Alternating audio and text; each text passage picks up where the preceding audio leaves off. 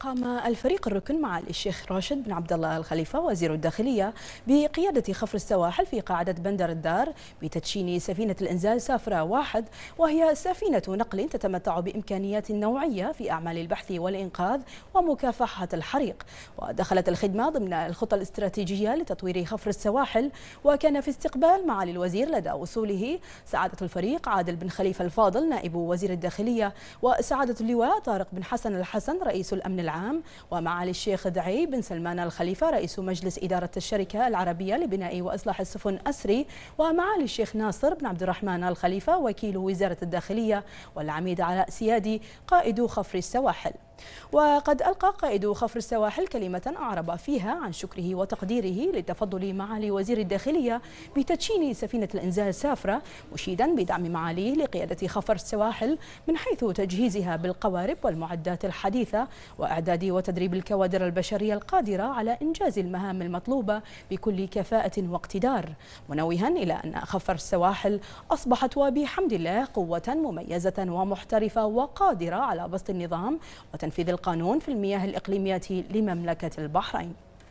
وخلال حفل التدشين اطلع معالي الوزير على فيلم تسجيلي قصير تضمن مراحل المشروع والذي نفذته شركة أسري بالتعاون مع خفر السواحل في ظل ما تتمتع به الشركة من إمكانات وخبرات وطنية متميزة في إصلاح وصيانة السفن واستغرق العمل فيها 15 شهرا. كما تضمن العرض ما تمثله, تمثله السفينة من إمكانات أمنية عالية بما يعزز جهود قيادة خفر السواحل في السيطرة والمراقبة.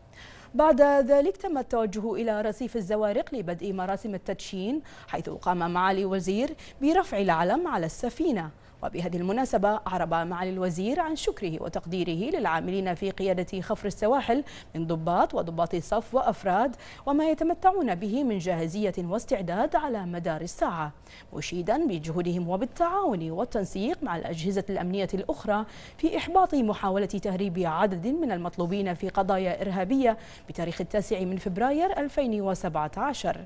منوها معالي إلى أهمية التعامل المهني والاحترافي وسرعة التحرك والتنسيق التنسيق بما يضمن ضبط الأمن والسلامة العامة وتقديم أفضل الخدمات الأمنية للمواطنين والمقيمين في جميع أنحاء البلاد.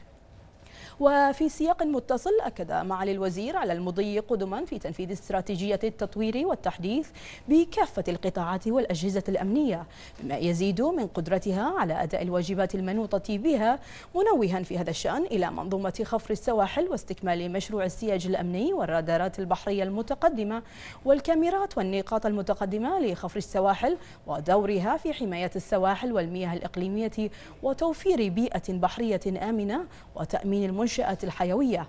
وفي هذا الإطار يتم العمل على تزويد خفر السواحل بأحدث المنظومات التكنولوجية والتدريبية فضلا عن تطوير منشآته بما يتفق مع احتياجاتها الحالية والمستقبلية. بعد ذلك تم تكريم أعضاء فريق إدارة المشروع وطاقم سفينة سافرة واحد بالإضافة إلى المتميزين المتفانين في أداء الواجب وكذلك القوى المشاركة في العملية الأمنية الأخيرة. تلا ذلك عرض للتشكيلات البحرية ومرور الزوارق لأداء التحية.